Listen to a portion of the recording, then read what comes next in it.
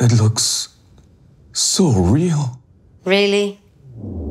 That's why you had to get the OLED display? It's for work.